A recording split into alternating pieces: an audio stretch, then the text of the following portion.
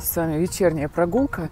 И также мы с вами подведем итоги голосования и разберем, почему нам с вами невыгодно завидовать другим людям и почему нам выгодно а, радоваться за других. В общем, сегодня я проводила опрос.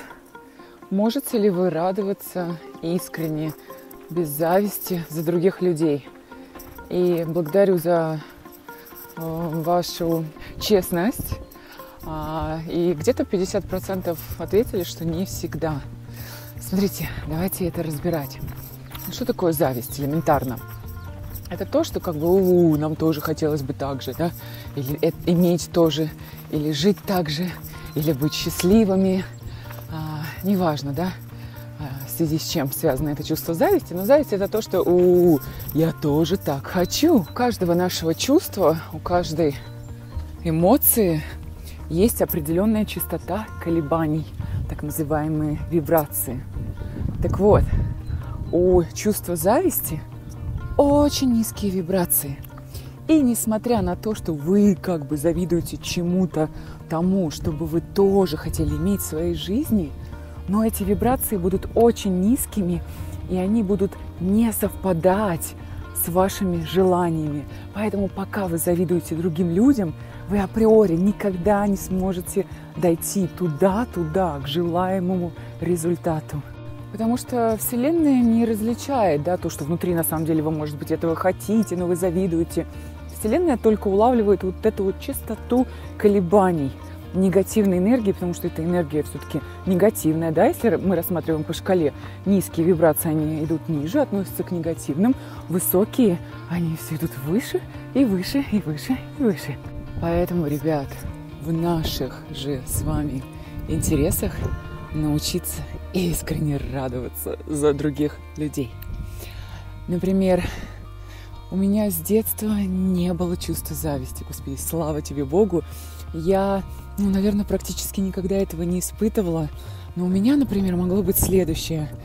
А, я могла не завидовать, когда у кого-то что-то там получалось, случалось.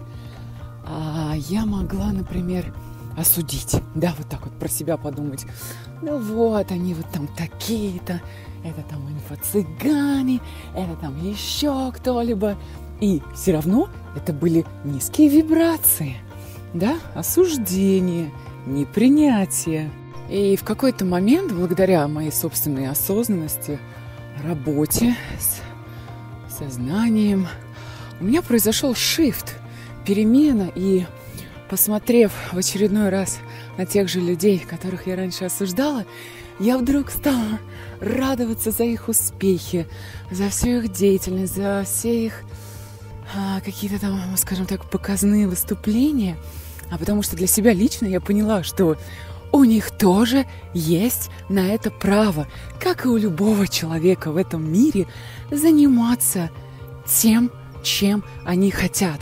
Ибо нет и не должно быть никаких ограничений в этом мире. Каждый может творить, создавать, придумывать и делать абсолютно все, что угодно. Все, что он хочет. Как только я это поняла, приняла, естественно, я вышла на другие более высокие вибрации. Естественно, моя жизнь стала меняться к лучшему. Начали появляться новые знакомые, люди из совершенно других ниш начали приходить ко мне а, совершенно нового уровня люди, которые со мной работают, мои клиенты, студенты, только потому, что я изменила вот эту вот перспективу и произошел вот этот shift, скачок, да, сознания, и я просто стала радоваться за все и всех, за любого человека. Поэтому, дорогие, если вы хотите, чтобы ваша жизнь менялась к лучшему, а все мы хотим всегда лучших условий, лучше себя чувствовать, больше себе позволять. Переходите на более высокие вибрации. Учитесь искренне радоваться за других людей. Я до такой степени сейчас радуюсь за людей иногда, что я прям хлопаю в ладоши. Я могу попрыгать.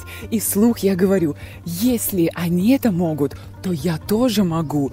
Если у них это есть, то у меня тоже это может быть.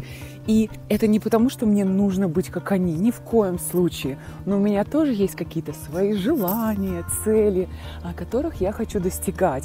И радоваться за достижение других помогает мне осознавать, что это также возможно для меня в моей жизни.